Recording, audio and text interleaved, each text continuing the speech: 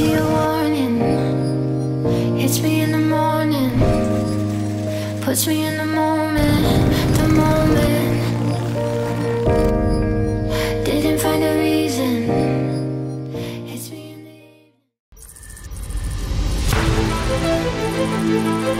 evening.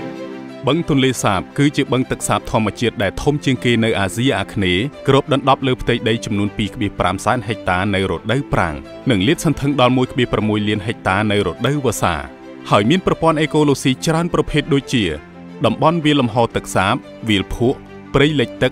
ស្មៅលិចទឹក និងតំបន់ទំនាបលិចទឹកនៅជុំវិញ បឹងនេះបានដើរតួនាទីយ៉ាងសំខាន់ក្នុងការរក្សាលំនឹងអាកាសធាតុក្នុងតំបន់ទប់ស្កាត់និងកាត់បន្ថយគ្រោះទឹកជំនន់ជាជំរកត្រីពងតំបន់ជង្រុកស្រូវសម្បូរទៅដោយជីវៈចម្រុះនិងធនធានធម្មជាតិយ៉ាងសម្បូរបែបជាពិសេសព្រៃលិចទឹក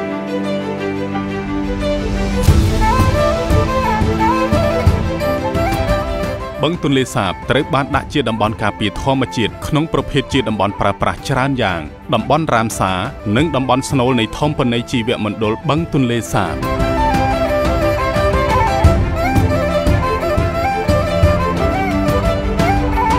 ដើម្បីធ្វើការសម្របសម្រួលរវាងការរស់នៅរបស់ប្រជាជន និងតំបន់ការពារធម្មជាតិគេធ្វើការកំណត់តំបន់គ្រប់គ្រងជាតំបន់ស្នូលតំបន់អភិរក្សតំបន់ប្រើប្រាស់ដោយចីរភាព និងតំបន់សហគមន៍ចំ ពោះតំបន់ស្នូលគឺជាតំបន់ដែលមានការប្រយ័ត្នខ្ពស់ការចេញចូលតំបន់នេះគឺចាំបាច់អឺត្រូវមានការយល់ព្រមពីមន្ត្រីក្រសួងបរិស្ថានដែលមានសមត្ថកិច្ចអឺការចេញចូលអឺមួយទៀតដែលអាចអនុញ្ញាតបាននោះគឺតកតងនឹងវិស័យសន្តិសុខជាតិនិងការពារជាតិចំពោះតំបន់អភិរក្សជាតំបន់ដែលស្ថិតនៅជាប់នឹងតំបន់ស្នូល ហើយការចេញចូលតំបន់នេះគឺប្រហាក់ប្រហែលនឹងតំបន់ស្នូលដែរគឺត្រូវតែមានការយល់ព្រមអឺពីមន្ត្រីក្រសួងបរិស្ថានដែលមានសមត្ថកិច្ចវិស័យការពារជាតិនិងអឺសន្តិសុខជាតិអត់តំបន់ប្រើប្រាស់ដោយចីរភាពគឺជាតំបន់ដែលមានតម្លៃខ្ពស់ក្នុងការអភិវឌ្ឍអឺផ្នែកសេដ្ឋកិច្ចហើយនៅក្នុងតំបន់នេះគឺយើងអាចអនុញ្ញាតឲ្យមានការអភិវឌ្ឍការស្រ័យផលប៉ុន្តែប្រកបណាស់ប្រជាជន របស់យើងគឺมันមានសិទ្ធិចាត់ចែងនិងលក់ដូរដីដែលកំពុងអាស្រ័យផលនេះទេអឺតំបន់ចុងក្រោយគឺយើងហៅថាតំបន់សហគមន៍គឺតំបន់ដែលមានអឺលំនៅឋានជាដីជាស្រែចម្ការរបស់ប្រជាជនជាសហគមន៍ហើយការប្រើប្រាស់ដីធ្លីនិងការចេញបានកម្មសិទ្ធិអឺដីធ្លីនៅតំបន់នេះគឺអាចធ្វើទៅបានអឺដោយមានការយល់ព្រមពីក្រសួងបរិស្ថាននិងស្របតាមក្របភូមិបាលដែលនៅជាធរមាន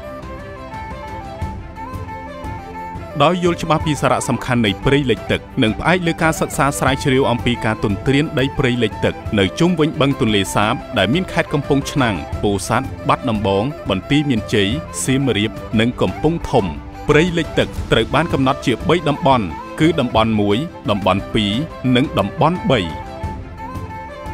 តំបន់ទី1គឺជាតំបន់ភូមិករលំនៅឋានរបស់ប្រជាជន និងដីស្រែចម្ការរបស់ប្រជាកសិករហើយមានការលិចទឹកនៅរដូវវស្សាតិចតួចទេតំបន់2គឺជាតំបន់វាលទំនាបលិចទឹកនៅរដូវវស្សាដែលមានកម្ពស់ពី3ទៅ4ម៉ែត្រតំបន់នេះជាតំបន់ដែលដុះនៅព្រៃរបោះព្រៃកំពតនិងវាលស្មៅរួមជាមួយនឹងដីស្រែរបស់ប្រជាកសិករអាស្រ័យផលសម្រាប់ក្នុងការធ្វើស្រូវឡើងទឹកនិងស្រូវបដិញទឹក រីឯតំបន់3គឺជាតំបន់ព្រៃលិចទឹកដែលតោងថាការពារដាច់ខាតដោយកំណត់នៅក្នុងអនុក្រឹត្យ197នៅក្នុងឆ្នាំ2011